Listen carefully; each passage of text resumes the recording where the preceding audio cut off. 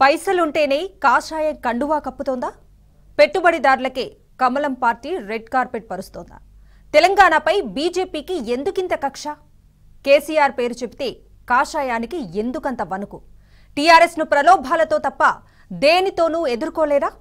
తెలంగాణ రాజకీయాలను అస్థిరపరచడమే కాషాయం అజెండానా? ఇక్కడి పెట్టుబడిదారులే కుతంత్రాలకు తెరలేపుతున్నారా? ఆత్మగౌరవాన్ని తాకట్టు పెట్టి కుట్రకత్తులు పట్టుకుని తిరుగుతున్నారా? ఎవరికెన్ని కోట్లు దక్కాయి? ఎంతమంది అమ్ముడుపోయారు? ఎవరెవరు ఆస్తులు కాపాడుకుంటున్నారు?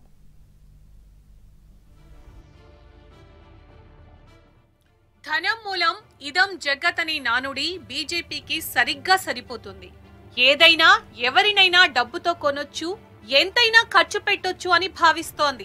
ప్రజాస్వామ్యాన్ని కూనీ చేస్తూ నోట్ల రాజకీయం చేస్తున్న కమలం పార్టీ ప్రధాన ఆయుధం మతం. ఇప్పుడు దీనికి తోడు డబ్బును కూడా అస్త్రంగా వాడుతోంది. జనాలను ఓట్లను తూకం వేసి మరీ కొనుగోలు చేస్తోంది. పైగా తన బలం పెంచుకునేందుకు బాగా డబ్బున్న లీడర్లు పెట్టుబడిదారులకే తన పార్టీ కండువ కప్పేస్తోంది.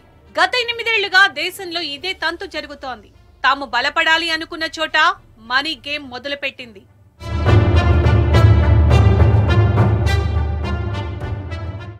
జనాన్ని ఉద్ధరించే నేతలు ప్రజల బాగోగులు చూసే నేతలు కాదు బీజేపీకి కావాల్సింది కేవలం పెట్టుబడి పెట్టేవారు మాత్రమే. కష్టాల్లో ఉన్నప్పుడు అండగా నిలిచే నేతలు సమస్యలను పరిష్కరించే నాయకులకు కాదు కాసులు కుమ్మరించే నేతలు బీజేపీకి కావాలి. ఈ మధ్య కాలంలో బీజేపీలో చేరిన బడా నేతల లిస్టు చూస్తే కూడా ఇదే అర్థమవుతోంది. ఆర్థికంగా పుష్టిగా ఉన్న నేతలని బీజేపీ కండువా కప్పి ఆహ్వానిస్తోంది. ఒక జితేందర్ రెడ్డి ఒక వివేక్ వెంకటస్వామి ఒక ఈటల రాజేందర్ ఇలా చెప్పుకుంటూ పోతే కొండ విశ్వేశ్వరరెడ్డి డికే అరుణ గరికపాటి మోహన్ రావు ఇటీవల పార్టీలో చేరిన కోమటిరెడ్డి రాజగోపాల్ రెడ్డి వరకు అందరూ డబ్బున్న బడా నేతలే. వీరందరి చేరికకు ఏకైక కామన్ పాయింట్ పెట్టుబడి.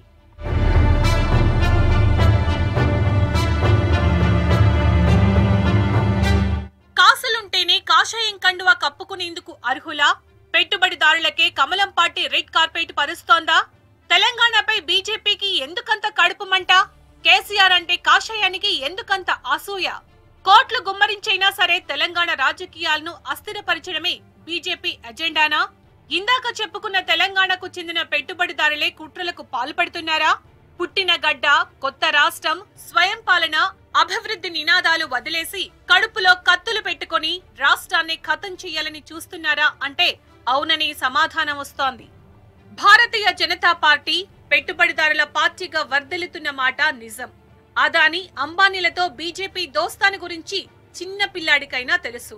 ఆ ఇద్దరు కేంద్రాన్ని పెంచి పోషిస్తుంటే తెలంగాణలో డజనుకు పైగా నేతలు వందలు వేల కోట్లు పట్టుకుని కాషాయానికి కొమ్ము కాస్తున్నారు.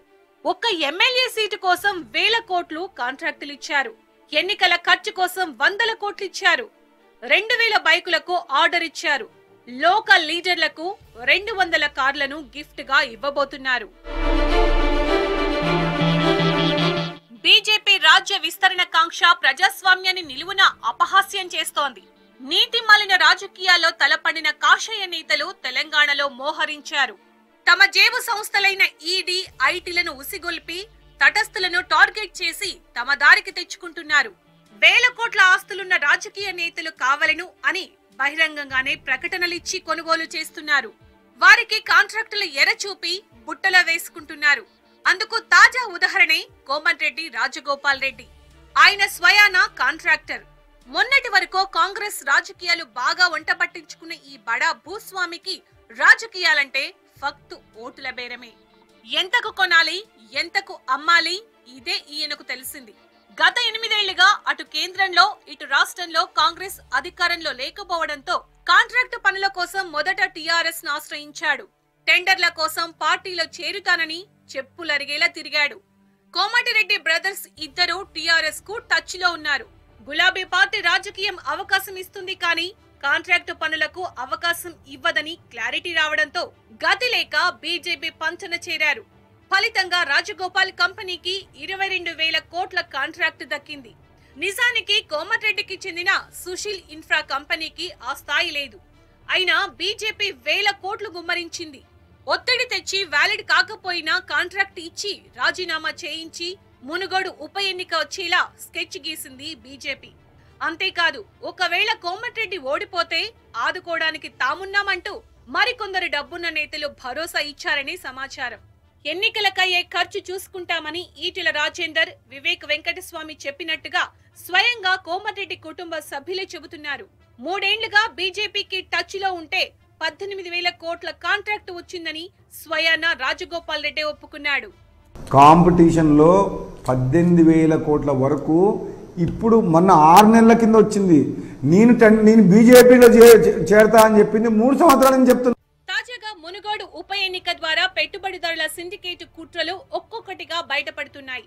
ఇరవై రెండు వేల కోట్ల కాంట్రాక్ట్ కేవలం కోమటిరెడ్డికి ఇవ్వలేదని పెట్టుబడిదారుల సిండికేట్లో ఉన్న కాషాయ నేతలకు కూడా భాగస్వామ్యం ఉందని స్వయాన ఆ పార్టీ నేతలే గుసగుసలాడుకుంటున్నారు. సుశీల్ ఇన్ఫ్రా కంపెనీ కోమటిరెడ్డిది కాబట్టి ఆ కంపెనీ పేరు మీద వేల కోట్ల కాంట్రాక్టులు ఇచ్చి మిగతా వారిలో కొందరిని భాగస్వామ్యం చేసిందంటున్నారు. అందుకే ఈ మునుగోడు ఎన్నికల్లో కోమటిరెడ్డి వాటా ఐదు వందల కోట్లతో పాటు వివేక్ ఈటెల రాజేందర్ కొండా విశ్వేశ్వరరెడ్డిలు కూడా తమ వంతు ఆర్థిక సహాయాన్ని అందజేస్తున్నారని ప్రచారం జరుగుతోంది. ఇది బీజేపీ మార్క్ డబ్బు రాజకీయం అంటున్నారు పొలిటికల్ అనలిస్టులు. మొత్తంగా వేలాది కోట్లు పెట్టుబడిదారుల ఆర్థిక సామ్రాజ్యాన్ని చూస్తే తెలంగాణ రాజకీయాల పట్ల ముఖ్యంగా టీఆర్ఎస్ ఎదుగుదల పట్ల బీజేపీ కడుపు మంట కుట్ర విస్తూపోయే నిజాలు ఒక్కొక్కటి బయటకొస్తున్నాయి.